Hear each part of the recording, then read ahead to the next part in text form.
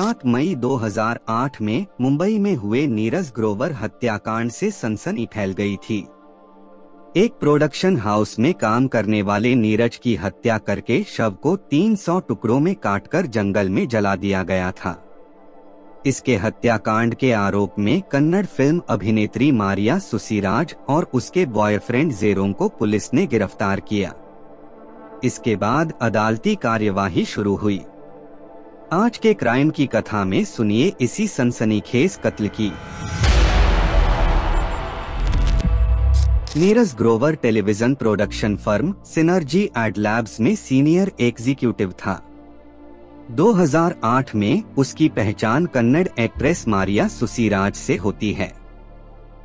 मारिया मुंबई में अपना करियर बनाने के लिए आई थी।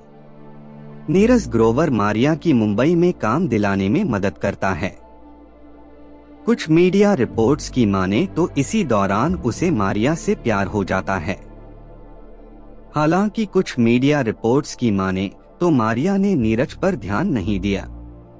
दोनों की दोस्ती मारिया के बॉयफ्रेंड जेरोम मैथ्यू को पसंद नहीं आई। लेफ्टिनेंट एमिल जेरोम नौसेना के कोच्चि बेस में पोस्टेड थे।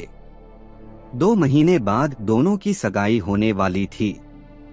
मारिया और नीरज की दोस्ती इतनी गहरी हो गई कि मारिया ने ग्रोवर के फ्लैट पर कुछ दिन बिताए। मारिया नए फ्लैट में शिफ्ट कर रही थी और नीरज उसकी मदद कर रहा था। 6 मई 2008 को नीरज मारिया के धीरज सॉलिटेयर स्थित अपार्टमेंट पहुँचा। शाम को सात बजे मारिया के पास जेरोम का फ़ोन आया और उसे पीछे से किसी दूसरे आदमी की आवाज़ सुनाई दी। मारिया ने जेरोम को बताया कि नीरज घर शिफ्ट करने में उसकी मदद कर रहा है। लेकिन जेरोम मारिया को नीरज को रात में न रुकने को कहता है। मारिया जेरोम की बात नहीं मानती है और नीरज रात में मारिया के फ्लैट पर ही रुकता है। सात मई 2008 को अपनी बेस को बिना सूचित किए, जेरोम मुंबई स्थित मारिया के फ्लैट पहुँचता है और सीधे बेडरूम में जाता है। वो नीरज को देखकर आग बबूला हो जाता है। दोनों में बहस होती है और फिर हाथापाई। जेरोम किचन से छुरी लेकर आता है और नीरज पर कई बार करता है। कुछ ही देर में नीरज की मौत हो जाती है। पुलिस के पास जाने के बजाय मारिया और जेरोम ने बॉडी ठिकाने लगाने का प्लान बनाते हैं। तकरीबन 11 बजे मारिया पास के मॉल जाती है। और वहाँ से छुरी, पर्दे, चादरें और बैग्स खरीद कर लेकर आती है। दोनों नीरज की डेड बॉडी को बाथरूम में ले जाते हैं और उसे 300 टुकड़ों में काटते हैं। दोनों मारिया के दोस्त की गाड़ी में बैग्स लेकर मनोर की तरफ़ जाते हैं। भायंदर में पेट्रोल की दो बोतलें खरीदते हैं। दोनों मनोर के पास जंगल में बैग्स फेंककर आग लगा देते हैं। मारिया और जेरोम उसी दिन रात के नौ बजकर तीस मिनट में वापस आते हैं। मारिया और जेरोम ने सबूत मिटाने के लिए घर के पर्दे, बेडशीट और यहाँ तक की फर्नीचर भी बदल डाले। एक लोकल पेंटर को बुलाकर घर की पुताई करवाई। कुछ दिनों तक मारिया और जेरोम हत्या के सबूत मिटाते रहे। नीरज का मोबाइल फ़ोन मारिया ने अपने पास ही रख लिया। नीरज के परिवार वाले और दोस्त उसका पता लगाने की कोशिश करते रहे। जब नीरज की कोई खबर नहीं मिली, तब उन्होंने मलाड पुलिस के पास गुमशुदगी की रिपोर्ट दर्ज करवाई।